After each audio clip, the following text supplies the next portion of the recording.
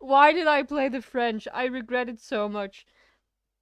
I have the chance to play the number two player in the world, and then I play the French. Can can someone explain to me what's going on in my head? Because I surely don't understand it.